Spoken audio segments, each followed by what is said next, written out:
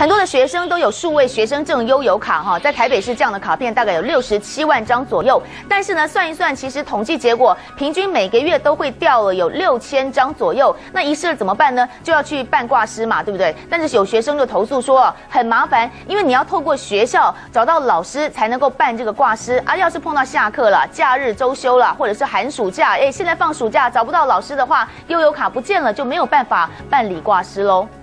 很多学生都会办这种学生证结合悠游卡的功能，它不止可以让你搭捷运，还可以去买东西。不过它最高储值一万块的这个卡片，如果不见的话怎么办？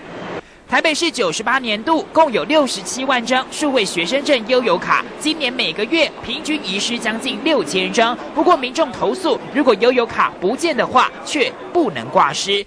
如果是有记名功能的悠游卡，本人可办理挂失，但挂失六个小时内金额损失风险自行负担。不过，如果是学生用的数位学生证悠游卡遗失的话，本人不能挂失，得透过学校注册组联络老师拿到卡号才能锁卡。也就是说，学校下课、假日还有寒暑假找不到老师，通通。不能挂失，为什么不能像信用卡一样挂失？然后这样就不会被盗刷怎么样？然后东西就不会说不见。可能都已经被用完，然后再联络的话，可能已经来不及了。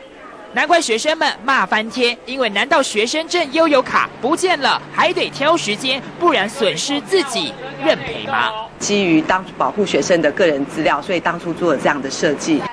保护学生个资，所以挂失得这么麻烦。但难道不能和悠游卡签合约？学生个资仅限挂失能使用，或者是家长同意下，悠游卡遗失可由学生自行办理。简单的权益之际，悠游卡公司难道不知变通？这是华明巨人家园台北采访报道。